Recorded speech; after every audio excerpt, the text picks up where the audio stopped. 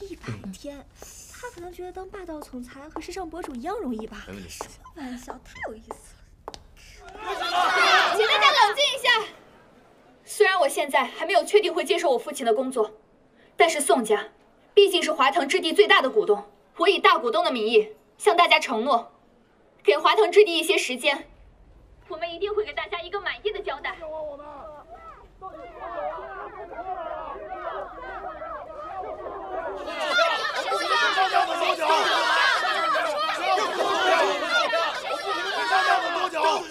百天，给我一百天时间。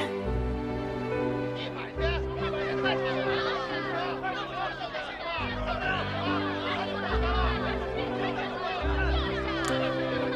一百天，光是找投资方接盘就够他受的了，何况安抚完受害者之后，还需要给公司承接其他业务，保证运转。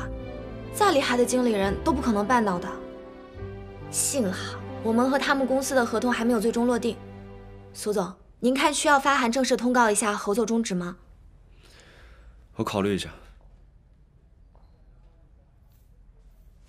你帮我查一下，我能动用的资金还有多少？好的。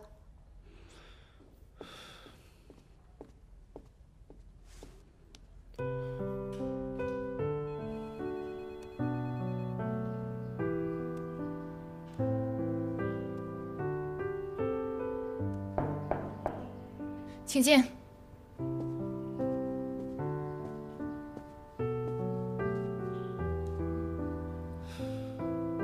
我今天是来告诉你，盖格资本将终止与华腾置地的合作意向。这点小事还劳烦苏总您亲自跑一趟。想看我笑话就直说。亲力亲为是必须的。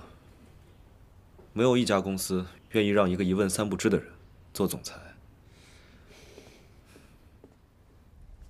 待会儿你把稿件再确定一下。看了，一百天，他可能觉得当霸道总裁和时尚博主一样容易吧？没问题。开玩笑，太有意思了。把手机都给我收起来。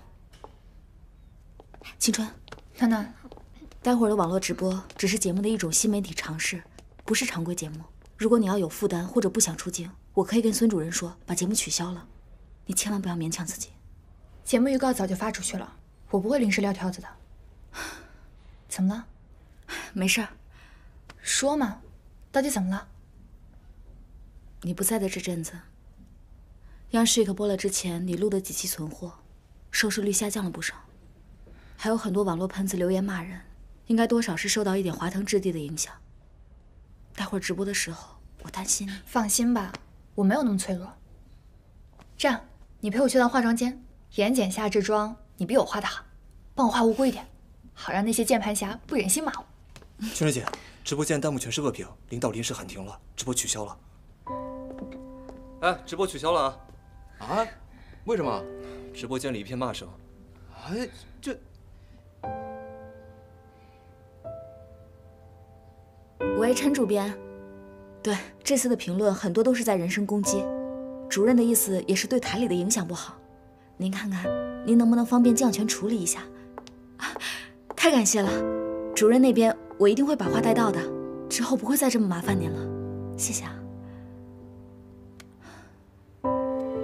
对不起啊，暖暖，又让你帮我收拾烂摊子了。你也不要负担太大，这些网络键盘侠都是闲的没事儿干。其实我知道自己没有这个能力，但当时那种情况，我不知道怎么处理更好，我不能让他们侮辱我吧。